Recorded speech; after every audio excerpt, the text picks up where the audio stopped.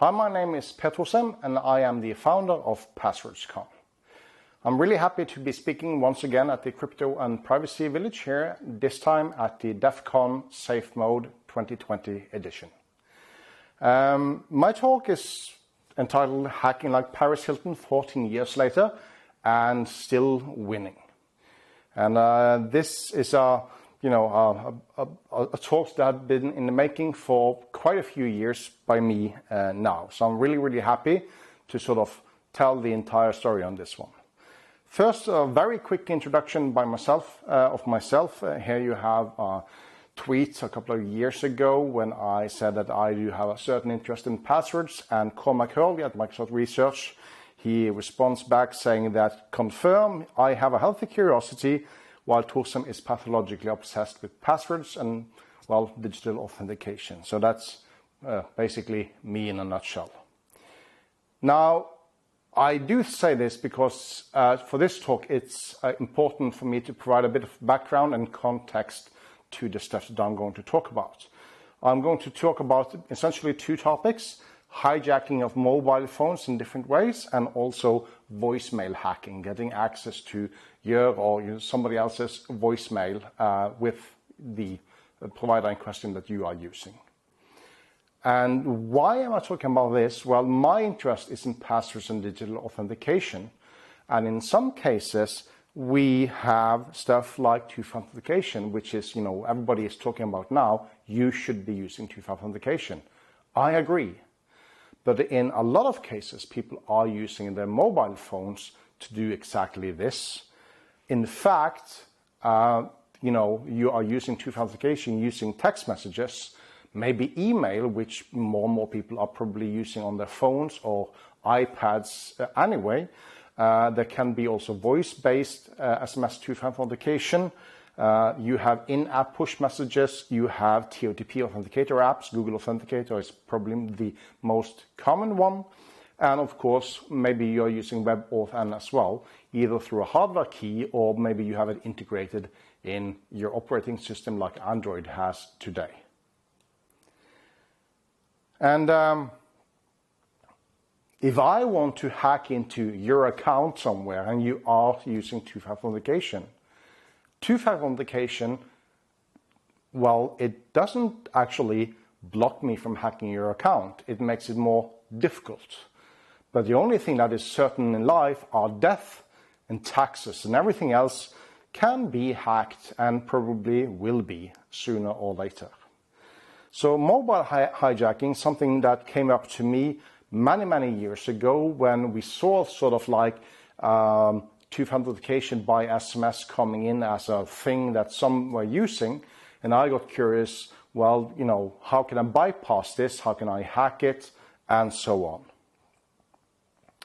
So seven years ago, actually, the uh, Norwegian government agency for financial supervision and regulation, they issued their annual report about, you know, the financial market in, in Norway with lots of interesting information to some nerds including um, losses due to like skimming, physical card skimming, and also online banking attacks, as an example. And they said, and this is 2013, they did say that they were expecting a rapid increase in mobile hacking. And they said that they were cautious and they were concerned about the fact that people were starting to have their entire uh, digital life, including banks, including you know uh, passport information, you, you, know your money uh, and your digital life on your phone, and you would be carrying your phone with you all the time.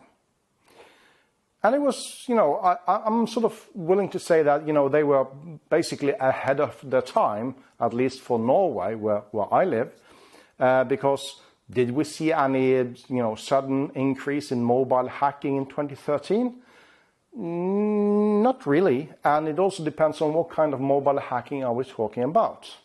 Now here's a typical example uh, that you have probably seen. Now the message here is a text message received in Norwegian, uh, and, and the, the, the simple translation is, you know, we could not invoice your membership for this month Try again or update your payment details in order to continue watching Netflix, and there's a totally legit link down below that you're supposed to click. Now, I was actually sitting on my couch in my living room and watching Netflix with a woman next to me uh, on a Saturday evening. And, you know, we had turned down the, but I had turned down the lights and we had some, we had some tips and we had some food and, and we, you know, enjoying a good movie. And then suddenly it says ping in her phone and politely, of course, I stop Netflix and I look away and she's typing and she's typing and she's typing even more on, on her phone. And I'm, well, I'm sort of getting curious about, you know, what happened now. And then she suddenly asks me, is it common that Netflix asks for your social security number? And that's the moment when I turn on the lights and turn off the TV and said, hey, love's gotta wait. We do have a security problem at hand. Give me your phone. And I got it, and this is, this is the text message that I saw on, uh, on, on screen, and I said, well, you have probably already given away your username and your password, so now we have to change that for Netflix. Simple scam, a lots of people, lots of people fall victim to this one. But it's the big thing. Well, monetary wise, I don't know. Uh, is it a threat to society? No, not really. But we have also had other and more, should I say, interesting cases in here in Norway. As an example, we had a minister in the government who actually went on, uh, on a uh, holiday trip to Iran with his new Iranian girlfriend. And when you are a minister, you know, you should be sort of careful of, of that, at least in the current political climate. And he did travel, and he did not tell the secret police, he didn't tell any uh, intelligence services or lifeguards, he didn't tell the prime minister or anyone else. He just went for it. And that's a big no no. And when he came back, back, one of the statements that he issued was pretty amazing. He said that, you know, he had been, you know, traveling before. He knew his stuff when it comes to security. So he said that his phone was secure because most of the time it was turned off and was just left in the hotel room in Iran. Now, this and a lot more about uh, you know this person and in this case led to the simple fact he was forced to resign from his position. Now, for mobile hijacking, I will be talking about port out attacks, which I have chosen to call them, and to differentiate that a little bit from SIM swap attacks and I will also talk about spoofing, the sort of the thing of, you know, what can you do when you are trying to pretend to be somebody else, or if you actually succeed in becoming somebody else. Uh, there's also traditional fraud involved in, in uh, mobile hijacking, as something as simple as having an insider issuing a SIM card for you in the wrong name and so on. I will not be talking about that. Port-out attacks are the simple process of transferring a phone number to another operator. That is one of the things you can do in Norway. Uh, you don't have to change your number. You can transfer it freely to any operator you want to. And when I started, uh, started working for my current employer three years ago, I came to the, to, you know, for, for my first workday on, on August 1st. And I have been a customer of one telecom provider, Telenor, since basically the dawn of time, more or less. And my employer said, you know, just give, give us your name and your phone number, and, you know, we'll take care of porting it to the new provider that we are using, where we will be paying for your phone subscription, period. And I was like, you just need my name and your, my phone number. Yeah, that's it. So I said, well, it's Per Thorsheim and uh, my phone number is da da da da da. And by the way, phone numbers are by default public, available to anyone in Norway, unless you specifically say, I do not want my number listed, or eventually also, I want a secret phone number. There's a difference there. Um, and they, my, my employer just sent an email to their telco saying that we want to transfer the subscription for Per's phone, current phone. This is the name, this is the phone number, and we want to port that out, out and over to your service, and we want it done as soon as possible. by email. And I got handed a new SIM card in envelope at work. And then I was told that, and, and, this was on a Tuesday, and I was told that the port out will happen on uh, Friday at midday noon. Uh, the porting actually happened on Thursday, one 24 hours before it was supposed to happen. It happened at 12 o'clock. So suddenly my phone stopped working, and I had to take out the uh, uh, current SIM card and insert a new card from the new provider that I had been given at work. And this means that there was a time window of approximately 48 hours, maybe even less, where I would uh, have to sort of detect that something is wrong, understand what is actually happening right now, and then act before it would be too late. And not only that, but I have also been told, without being told the exact um, timeframes, I have been told that you can ask these telecom operators as well to do a very quick port of your number, and then it will probably happen in a few hours. And not only, you know, was this process going faster than expected, it happened in 48 hours or less, but for me to be able to understand, you know, if, if somebody initiated that without asking me or telling me at all, these are the two text messages that I would have to understand and react upon before it was too late. The first text message came from my current provider, which was Telenor. Uh, in Norwegian, it says, you know, thank you for being a customer with us. It's sorry to see you go. And here's a questionnaire with an HTTP link, unencrypted link, where they just want to ask me a single question about, you know, why did I leave or would I like to come back again? And from my new phone provider selected by my employer, I also got a text message. Interesting fact number one, the sender number is an invalid phone number. It's not possible to respond back to the number 4705050, as you can see on the slide and it says, welcome to Telia, which is the name of the operator, uh, and your phone number is now transferred to us. Have a nice day. Best regards, Telia. That's it. And I'm just imagining my own mother receiving these, two text messages, and I am very certain that she would not really understand what's happening here. And I'm not sure if she would actually call either of these two operators in time to understand what just happened. And one of the things that I did as part of this, because I've been working for several years looking, looking into, you know, the, this issue of sort of like being able to hijack somebody's phone number uh, in, in, through social engineering and so on, do, to do it online in a store and, and, and so forth. And I talked to the largest financial newspaper in Norway, Dagens Næringsliv, about this when I was sort of ready and said, I have some theories, I have some facts, but I need to be careful not to step over, you know, the, the red line on what is uh, legal and what is illegal to do. But you are a newspaper, so you can sort of defend doing things that might be considered shady because you are sort of working for the public and you should look into this.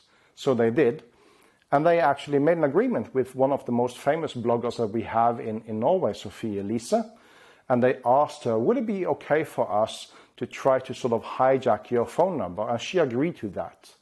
And the newspaper actually has a video online that you can watch for free. It's uh, like three minutes long, where a female reporter from the newspaper that looks nothing like this blogger, she goes out on the street to a couple of sales people from um, a phone company, and she uh, hands over a business card that is fake, obviously. She printed it on her own printer.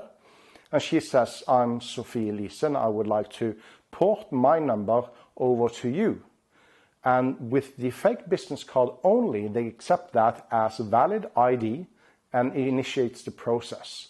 And the newspaper, and of course Sophie Elise, they were shocked that, is it that easy?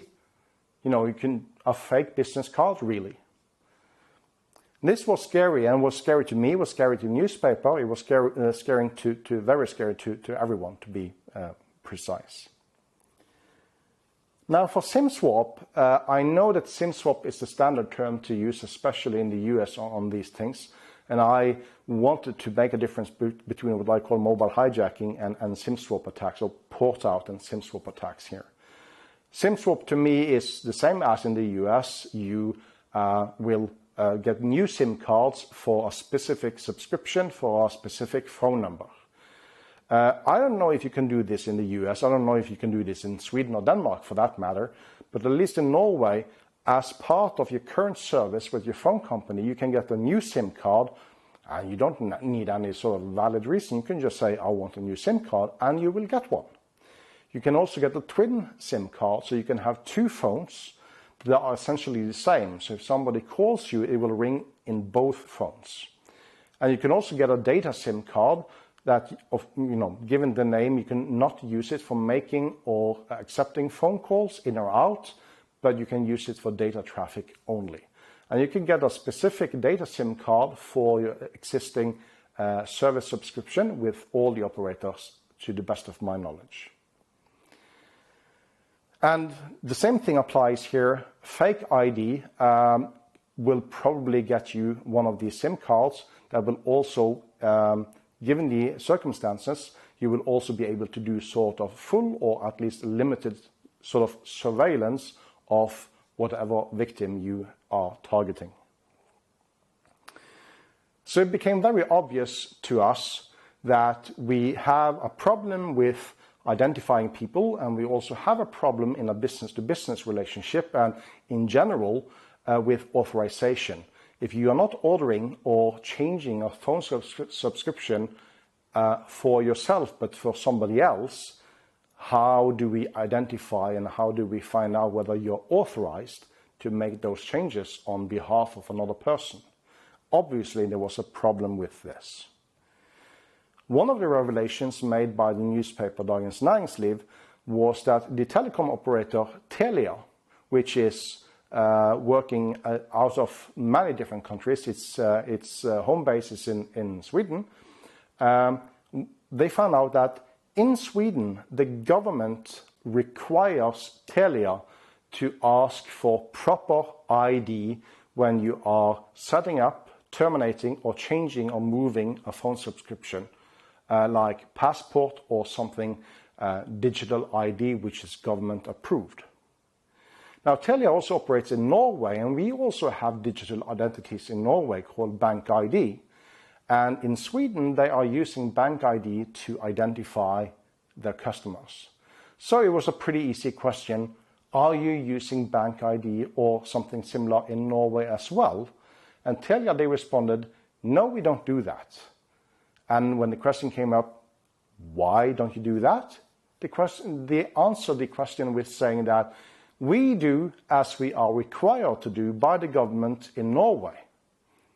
And the answer to that again is the government in Norway didn't require the telephone operators to ask for, you know, any kind of solid ID, being it on paper like passport or driver's license, or a digital version of a digital ID.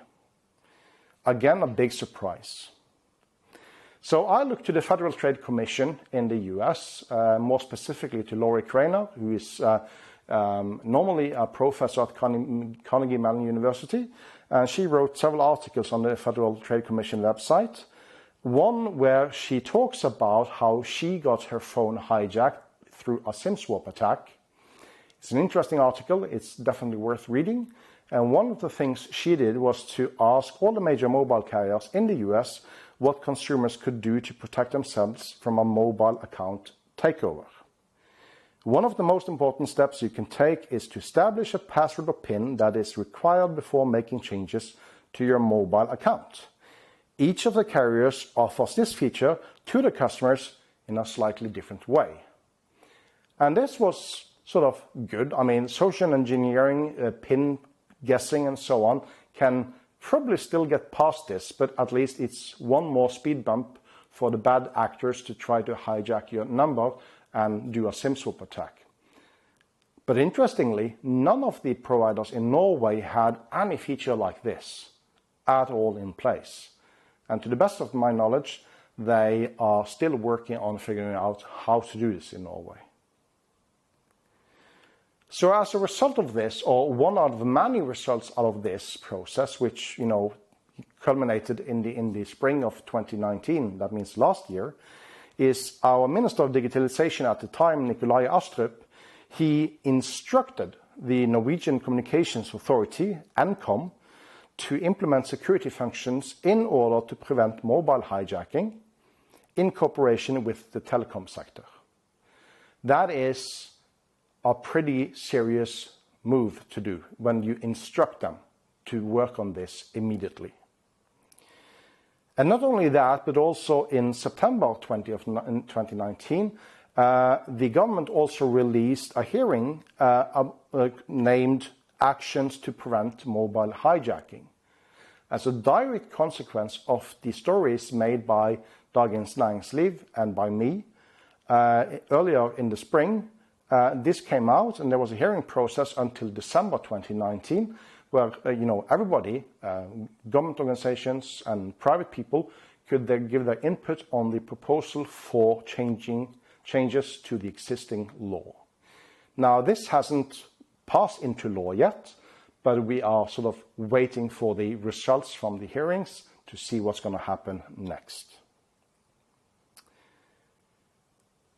And also, while working with this on my own and together with Dagens Næringsliv, I was not aware that a news website for the IT and security industry in Denmark were also looking into the same thing, more or less, in, in, in, in Denmark with different providers. Simply social engineering into stores selling SIM cards, making replacement SIM cards, and so on.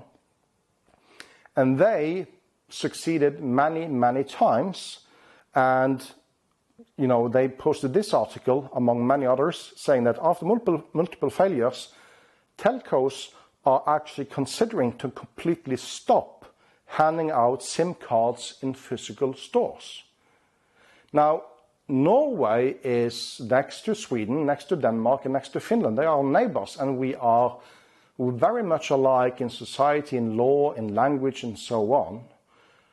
But one of the things that has been fascinating to me is to see the different reactions from the telcos, from newspapers, from you know normal people like you and me on the streets, and from politicians on how they have reacted to these stories in the media.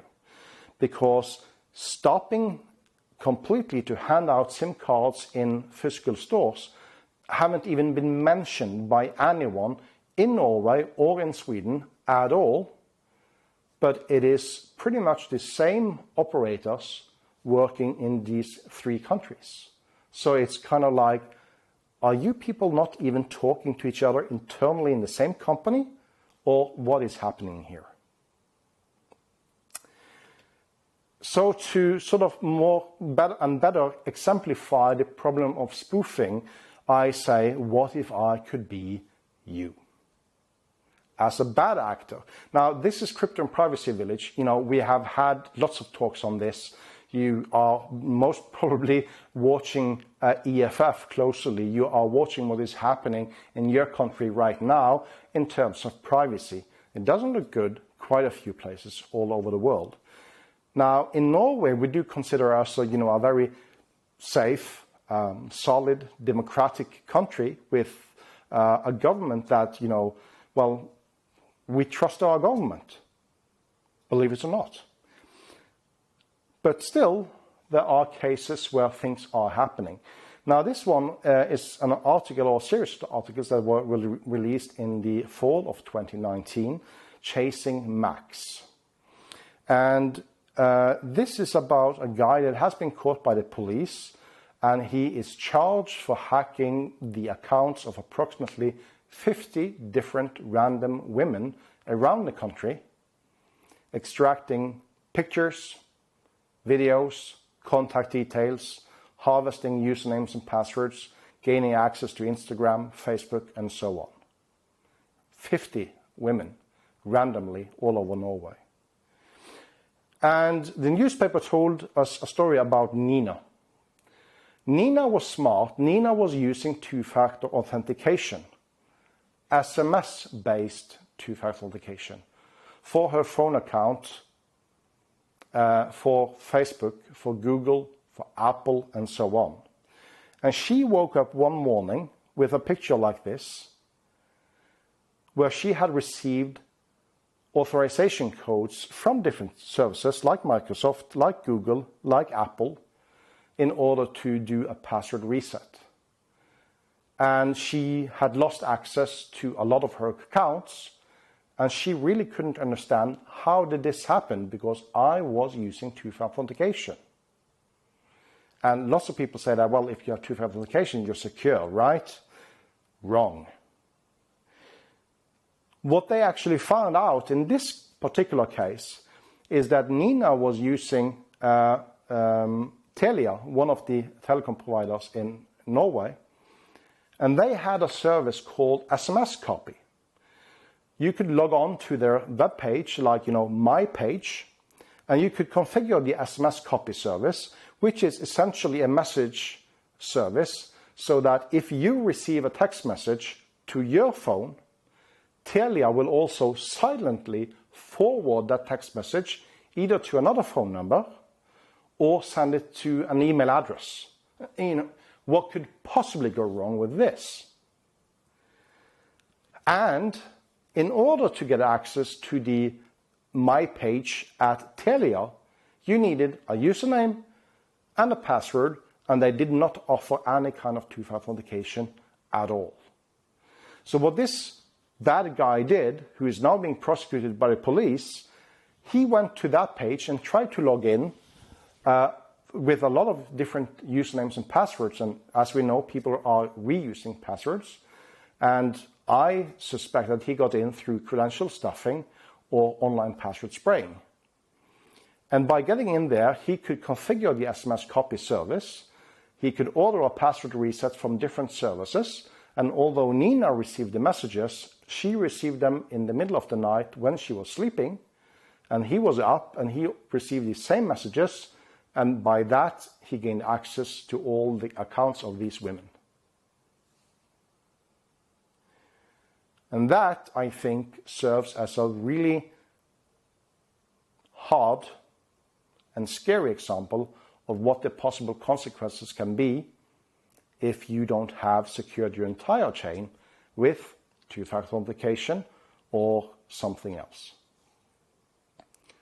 Two-factor authentication can be bypassed in so many different settings and scenarios. Now, this was about hijacking your phone number and receiving your text messages and so on. But I've also been looking into voicemail hacking. And this goes back again to the title of, of Paris Hilton, because all the way back in 20, uh, 2006, sorry, um, there was a lot of articles around the world saying that, you know, um, um, uh, uh, Paris Hilton and Lindsay Lohan had got into a sort of a disagreement and they were trying to hack each other's uh, phone numbers, uh, spread them online, and also gain access to each other's voicemail boxes. And the story is, to the best of my knowledge, is that Paris Hilton gained access to the voicemail box of Lindsay Lohan.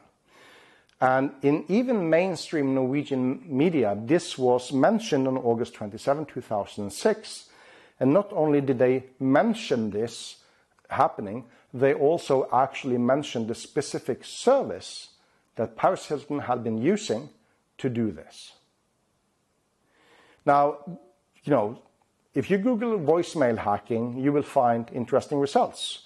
One of them is a talk that has been presented at DEF CON before that also includes a tool that you can use for some services with voicemail where you can try to basically brute force the PIN code to get into the voicemail boxes.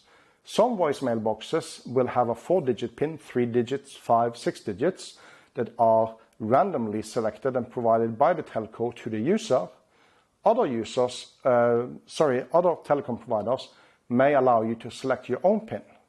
One of the things we know from PIN code research is that as soon as you allow users to select their own PIN code, those PIN codes are not going to be any good at all in pretty much all cases. There was also, uh, back in um, 10 years ago, there was also a large scandal with News of the World uh, in the UK, where the British royal family got their phones and their voicemail hacked by reporters that were able to extract messages that were, you know, most definitely not meant for the public to listen into. This was a big scandal, and also in this case, uh, the suspicion was targeted against the same service as Paris Hilton had been using several years earlier. Now, this is probably a picture that you have seen before. Uh, in order to do a password reset at Microsoft, you have several different options. You can have an email sent to you with a link that you need to click to gain access, or you can also ask to uh, use an authentication app if you have a TOTP app installed. Uh, and you can also have an SMS sent to you. So there, you know, with SMS, you already see one problem with the SMS copy service. But there are also services where, you know, to do a password reset and so on, uh, you can also ask the service provider to give you a robot call and to read the uh, PIN code for you out loud. So one of the things I was curious about is, hmm, can I initiate a password reset for someone online and ask that service to make a phone call and just well, go directly to voicemail and enter that uh, PIN code into the voicemail box so I can get access afterwards, listen to the code, and use it to get access to an account. Interesting experiment. So, you know, let's hack. And what I did, I used the same service as Paris Hilton from 2006, which is called SpoofCard. They are still operational today, and they are still doing their fancy little tricks today. But of course, they do say that this service is to protect your privacy, and you should, of course, not use this for any kind of illegal purposes. So I did. And the case number one was Telenor, the biggest telco in Norway. I managed to get access to people's voicemail. Of course, I did this under responsible disclosure. And I also talked to my potential victims, friends, family, and others, co workers, and ask them, can I try this? And if you want to listen in, you can do that. I showed them how I, gain, how I could very easily use SpoofCard to get access to their voicemail, listen to the messages, delete them, and also change the welcoming message for the voicemail. I told uh, Telenor about this on a Tuesday, on, and on the Thursday they had fixed it. So in less than 48 hours, which is really, really good. They also, of course, after you know fixing this, uh, there was a media article, and they said that they were sorry for this, and they acknowledged that this vulnerability had probably been available for use and abuse for 13 years or more, you know, dating all the way back to the Paris Hilton incident. 13 years. An interesting thing is this specific uh, service, SpoofCard, was mentioned all the way back in 2006 in Norwegian mainstream media. But when Telenor was informed about this in November 2019, they said, never heard of it. Which is, well, I mean, you don't have to read mainstream media, do you? But in this case, I was a bit, well, surprised. And as a consequence of my findings in this, the uh, Norwegian uh, government agency that are overseeing the telecom industry in Norway, they chose to issue a fine of 1.5 million Norwegian kroner, that is the equivalent of 165,000 US dollars today, as a fine because they didn't have sufficient security um, for the voicemail system. And depending on the country you're in, if you're in the US, I would guess a fine of 165,000 uh, US dollars doesn't sound much. In Norway, you know, to the company, it's, it's pocket change, not even that. But it is very, very rare that any company is being given any fine at all by this government agency. So that sort of underlines the seriousness of this security breach. And also our uh, Norwegian Data Protection Agency, they also issued uh, a reprimand to Telenor saying that this is really not good and you have basically violated two different GDPR articles on this. But since you have already been fined once, we are not going to slap another fine on top of that. That's usually not how it's being done here in Norway. And there's case number two, because I asked friends in, in other countries as well, can I try to hack your voicemail box? So with Telia in Denmark, um, um, you know, the Version2 uh, news website in Denmark, they tried this out on, on my behalf, and they found that yep, this works. I proved it for them. I talked directly to Telia, they fixed it, and they also ended up in news saying that you know this is a big scandal, and it's not not just in Denmark. It also applies to uh, another provider, you know, other providers in Norway and in Sweden. and uh, kind of fascinating that you know Version2 even have an article saying that Telia is now considering better voicemail security. So I'm sort of waiting to see what's going to happen there, but hopefully it has already improved. Case number three is Tele2, which is the third provider uh, that I found vulnerable in this. Based in Sweden, they operate in eight different countries. I tested against voicemail boxes of people in Sweden. I found them to be vulnerable. I got access to their voicemail. I do not know about the uh, you know, hackability of Tele2 voicemail boxes in other countries where they operate because I didn't test. Uh, but Tele2 says, nope, they are not vulnerable. So hopefully that's uh, true. At least, again, this also led to media attention in Sweden. Again, back to you know my fascination of the different ways of how this was handled or wasn't handled at all, handled, handled at all in the different countries. In Norway, there was a lot of media attention on, on this. Mainstream media picked it up. There have been issued a fine. There have been uh, issued a reprimand by the Data Protection Agency of Norway. In Denmark, there have been a little bit of media attention, but politicians have said, well, the problem is fixed, so there's nothing left for us to do, and we'll just leave it to the telecom providers to, you know, they have to talk to each other and figure out what to do. And that's it. And in Sweden, pretty much nothing has happened at all so far. Uh, in fact, there were one or I think it was two or three articles in total about this, and then it went completely quiet. But all in all, I found that several million people across Norway, Sweden, and Denmark were affected by this and have most probably been affected for 13 years or more. At the same time, the telecom providers, they have logs that maybe go, go back uh, two, three, or four weeks in time. So proving or disproving that this haven't been hacked and abused by anyone for the past 13 years is completely impossible. So they have concluded that, well, since we haven't heard anyone complain about it, nobody have probably been hacked. And there's nothing we can do about that.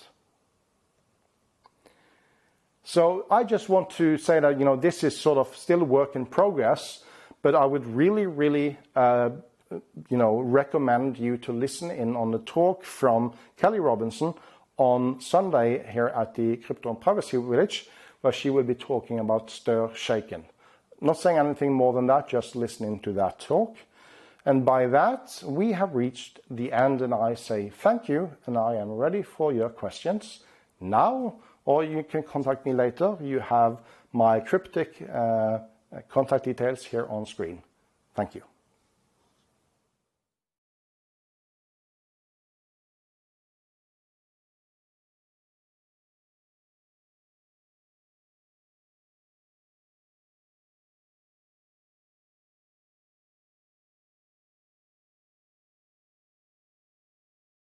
Not saying anything more than that, just listening to that talk. And by that, we have reached the end, and I say thank you, and I am ready for your questions now, or you can contact me later. That was the talk, Hacking Like Paris Hilton 14 years later and Still Winning by Per. Uh, we have them here for our live Q&A. So please put your questions in the Discord uh, CPV Q&A channel. Uh, so Per, uh, one of the first questions we have is, in the USA, many carriers use the phone number as a default PIN. So if you spoof the number and call its voicemail, you can access it using the phone number as a default PIN if the user didn't change it, and a lot of people don't. Is that the same outside the US of other carriers? Well, I can say for sure that at least that's not what we have. Uh, that's not what we have here in Norway. I haven't seen this in, in Sweden or Denmark, but I, I really can't answer for all telecom providers in all the countries uh, outside the US. That's impossible to do. But I do have my suspicions that you will find a lot of bad security connected to both uh, voicemail accounts and also in general the uh, accounts where you can log in on your telco um, homepage for in any way administrating your subscription with them. Awesome. Thank you so much for that. Um, in your ideal world, uh, what would you like to see exist in place of the current available options that we do have? Well, there are many facets to this, and one of the things that I pointed out early in my presentation uh, presentation is starting with whenever you go into a shop and say that you want a new uh, uh, SIM card, or if you want a data SIM card or a twin SIM card, if you want a new subscription, if you want to change it, if you want to end it, to move it to to another telco, and then you have the issues of logging onto your telco provider to administer your uh, subscription there, like you know this SMS copy service, which is now, uh, uh, of course, uh, turned off, uh, and options like that. And then you also have the stuff like um, doing the the voicemail hacking using spoofed numbers. Now, some of the issues are sort of um, um, you know they are specific to each telecom provider like you know the uh, the absence of two-factor authentication for uh, administrating your account, and then you have the security awareness training for staff on help desk, online chat, and in stores. But there are also problems with the the basic uh, telco uh, networks worldwide for mobile communication using the SS7 SS7 protocol and stuff like that, and that is I'm not going to say it's an unsolvable problem, but it's not up to a single telecom provider to fix it. It's not up to a single country to fix it. And basically, you need, you know, if, if you are to fix the fundamental security issues that we have in the GSM networks today, all uh, providers and makers of phones, of networking equipment, all the telcos, they have to come up with solutions and you have to replace all the handsets in the world. And we can't do that. That's just impossible to expect that to basically ever happen. So one of the things that are coming now, which is very interesting, of course, as I said, Kelly Robinson will be talking about uh, STIR-SHAKEN. Uh, so you know, I'm not going to spoil that anymore, but you know, that's a that's a talk that I really hope people will uh, listen into. And one of the things that I'm doing as well is trying to, you know, to the extent I can, I'm trying to pressure the Norwegian government and also the governments in, in Sweden and Denmark as well, together with other people, to ask the telcos to at least look into STIR-SHAKEN, eventually also consider can it be implemented and how can we make the rest of the world implement it as well. So Thank long answer so to a short question. wow, that was a really great thorough answer. Thank you so much. Um, so another question we have is, should we just disable our voicemails then at that point? Uh, uh yeah, oh yeah, disable voicemail now. I mean, there's absolutely no point. I can't really understand why people are using voicemail at all. And I I was in in Czech Republic um, last year, I think, and I was surprised to hear from friends in, in, in the Czech Republic that voicemail Nah, no, they don't have that with, with, with their phone subscriptions. And I asked around, and they couldn't think of any friends or family who had voicemail. In Norway, we have uh, uh, three companies that are providing a physical infrastructure for mobile, mobile communications. And then we have lots of virtual operators as well. And all of them, absolutely all of them, by default provide voicemail as a part of the service And there actually is no option to say, I don't want voicemail, but they do have options to turn it off. So uh, one of the things I would like to see is that, you know, well, I, I just don't need uh, voicemail at all. And I actually, where I just don't pay for it either because I can turn it off, but I'm sort of still paying for it.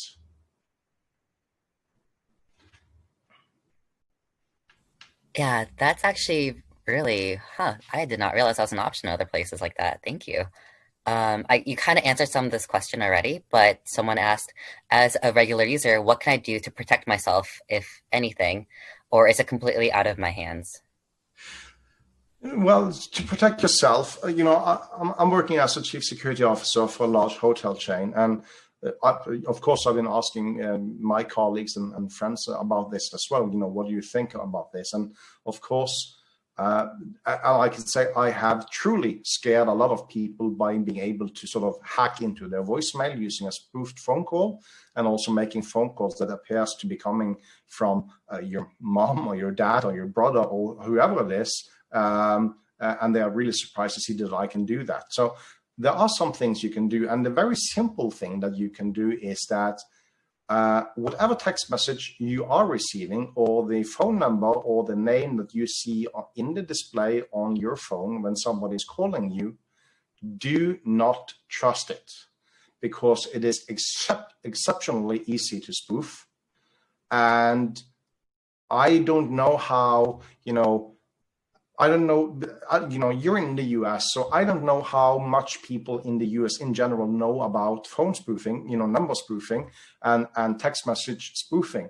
But to people here in Norway, uh, the vast majority of people in the IT security industry were absolutely clueless about this existing at all when I started working with this. And when I did my initial presentations last year, people were shocked that this was possible. So as an end user, first and foremost, do not trust that the number you see or the name you see in your display are correct. No matter who calls or texts you, do not trust it. As a millennial who does not pick up any phone calls at all, that's really fascinating to know about. oh yeah, you youngsters. Uh, yeah. Well, yeah. I mean, you, you have a completely different sort of way to protect yourself in this area. But I, I know, again, robocalls, as far as I know, is a very big problem in the US. It, it, it almost doesn't exist over here yet, except oh. for the occasional Microsoft is calling you to say you have a computer virus on your on your system. That's that's the only robocalls we get. And when I got one last year, I was like, yes, finally. So there you go that is a very different reaction that I, I have, I think, along with other people. Oh gosh. Uh, with that said, thank you so much again, Per, for all of your answers to this Q&A and for your talk today. Uh, please take care and enjoy the rest of your DEF CON. I thank hope you, you have fun. Me. Thank you so much again.